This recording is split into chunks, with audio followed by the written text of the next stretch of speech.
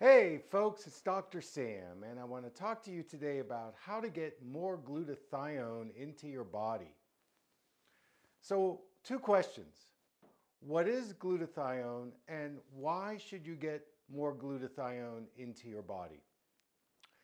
Well, most of you probably don't know this, but there was a research study that was published in the Journal of Ocular Pharmacology this was an interesting study because the results showed that people who had high levels of glutathione in the lens of their eye kept the lens transparent. So they avoided cataracts.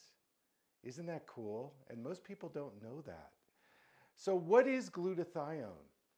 It is an amino acid. Uh, there are three amino acids that are actually making up glutathione, and it creates a peptide that is a major antioxidant in the body. So some of the benefits systemically of glutathione would be heart health, immune system, it's a great detoxifier, and let's circle back, it's great for your eyes.